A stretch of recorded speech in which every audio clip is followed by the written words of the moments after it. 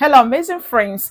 In this tutorial, I'm going to teach you how to solve this Harvard exam. Question is just very simple, okay? There are a lot of methods you can use to solve this. So let me know your own approach in the comments. But if you don't know what to do, join me as I show you the best tip, okay? Now, remember, at the end of our solving, we are going to check for our solution. It's going to be amazing. Now, to answer this, we are given this to find the values of x and y. Now, when a mathematics involves solving for two unknowns, x and y, just know that such equation or equations is likely to lead you to system of equation or what we call simultaneous equation. Now, let's see to that. So we're going to begin this question with solution, okay? Now, what do you do? Let's repeat what we have.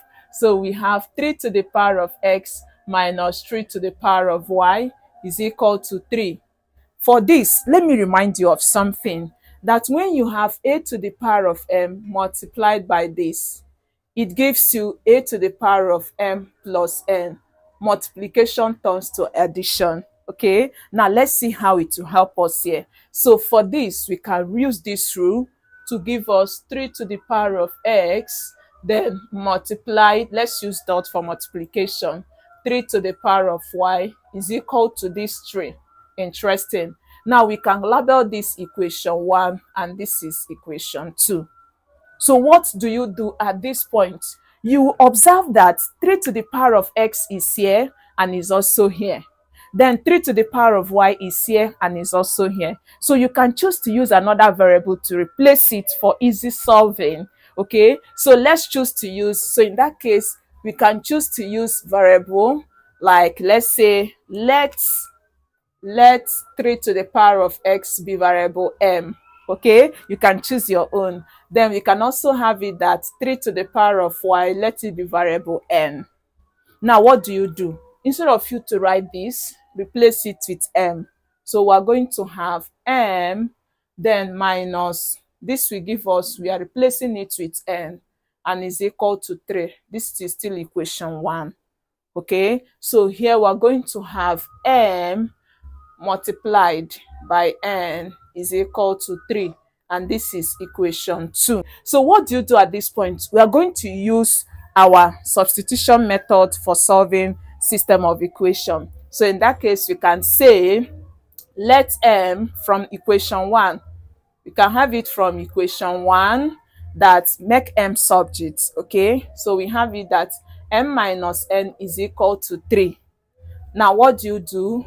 To make m subject, m will be equal to 3. This negative n, we have to leave this position. And in that case, because it's negative, we are going to add. So we add, and when you do that, it becomes plus n. Did you see that? So we're going to now have, this is now our m. So if this is m, what do you do with this m? We are going to now put this m back in equation 2 Remember you made it subject from equation 1. So if you want to put it back, you put it back in equation 2 and vice versa. Okay, so we're going to put our m into equation 2. Interesting. So this is going to give us, instead of writing m, I'm writing 3 plus n. I hope you are with me. Remember, this 3 plus n is serving is an expression representing m. So in that case, I'm going to put it in brackets okay then multiply by n is equal to 3 i hope you are with me. Now this can still be rewritten. We can write this as let's take it to this part. We can write this as n into 3 plus n is equal to 3 this and this are the same. Okay so we easily use this to expand this. So if you do that you are going to have this multiplies will give us 3n this multiplies this will give us n squared and this is equal to 3.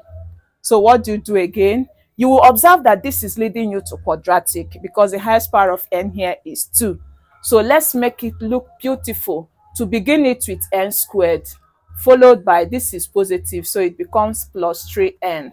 Okay, now this 3, we want to remove it, and because it's positive, you subtract. So we're going to subtract 3 from both sides. And when you subtract 3 here, you have 0 left.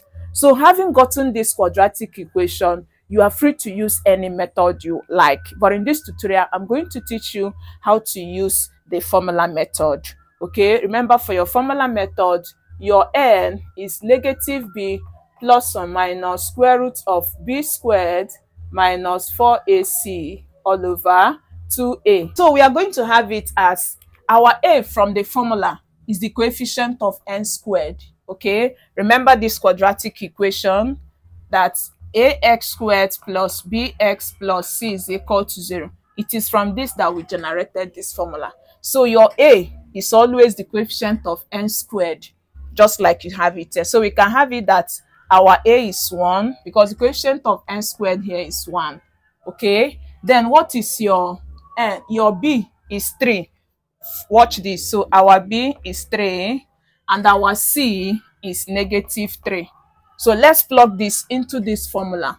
Okay, so to do that, you're going to have n is going to be negative, our b is 3. So we have negative 3 plus or minus square root of 3 squared minus 4.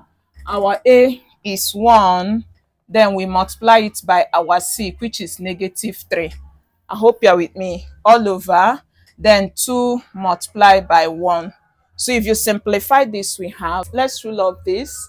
So our n is going to give us negative 3 plus or minus square root of 3 squared is 3 times 3 to give us 9. Multiply this, we have positive 12 all over. This is giving us 2. So we're having our n is equal to negative 3 plus or minus. Add this, it gives us 21. Okay, all over 2. Did you see that? So what it means here is that, remember, this is a prime surd. It can't be reduced anymore. So in that case, our n is going to be negative 3 plus root 21 all over 2. Okay, this is the first value of n. Then the second value of n is going to give us negative 3 minus square root of 21 all over 2. I hope this is clear. Okay, now that we've gotten these two values of n, we are going to now put it back to get the value of uh, m. Remember this. We made a statement that 3 to the power of y is n. Okay, we want to make a rejection and accept. Now, you observe that the first value of n is this, and this is the second value.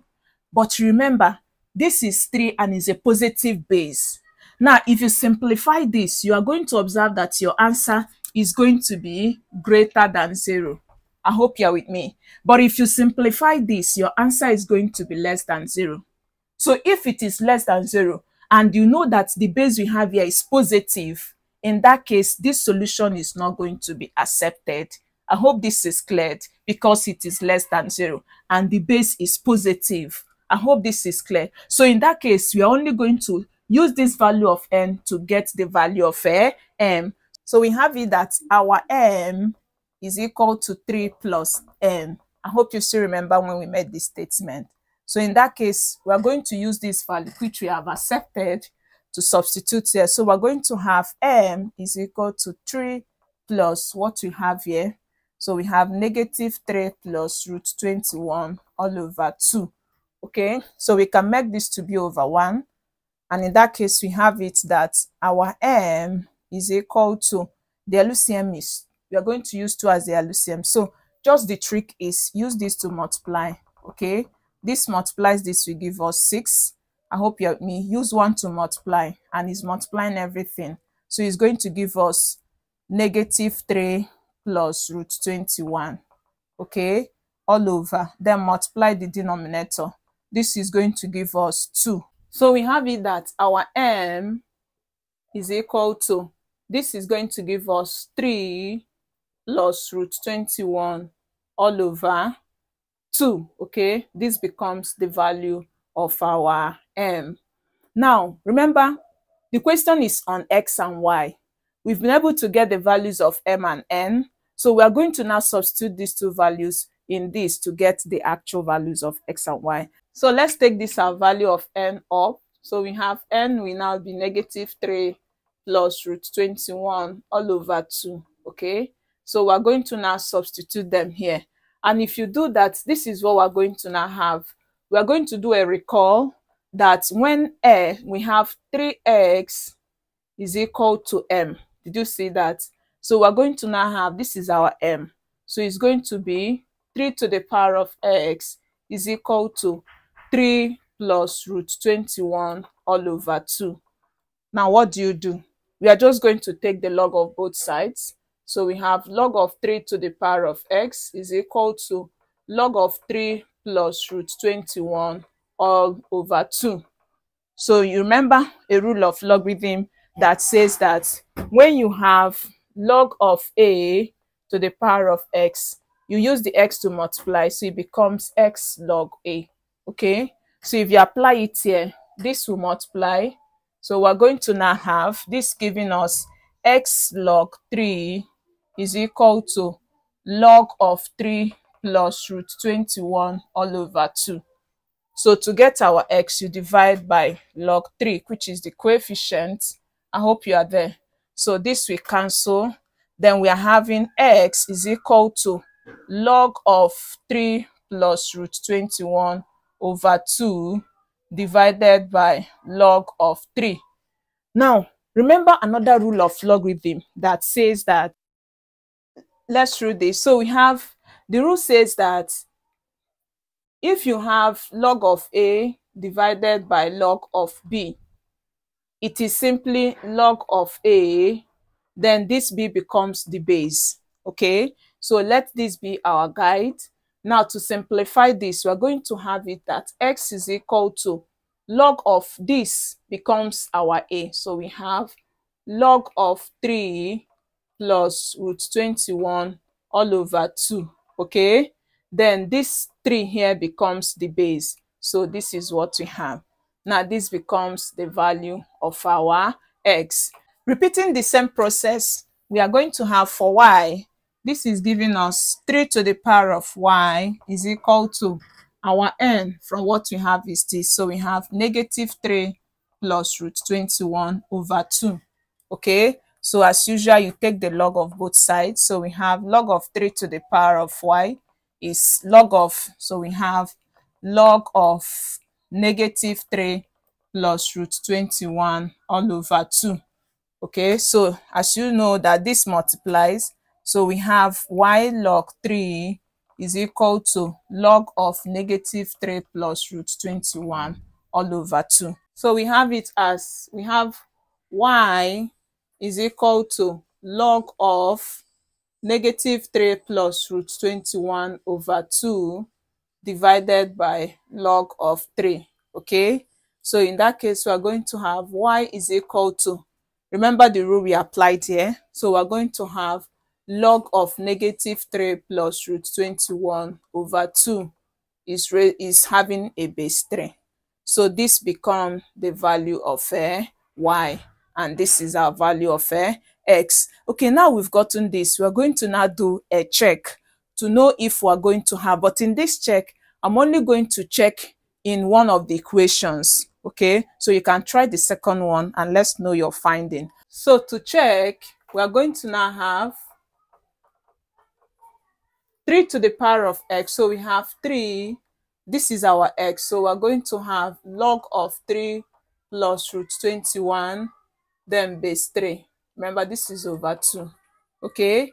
Then minus 3 to the power of our y is this. So we have log of negative 3 plus root 21 all over 2, then base 3 we want to see if it will be equal to this 3, okay? So let's simplify this. But before you do that, let me remind you of this rule that will guide us, which says that if you have a to the power of log of x base a, if the base of the log and the general base are the same, your answer simply becomes this x. So this is going to guide us as we answer this, okay? So in that case, you observe that this is 3 and here is 3. So because they are the same, our answer is going to be here.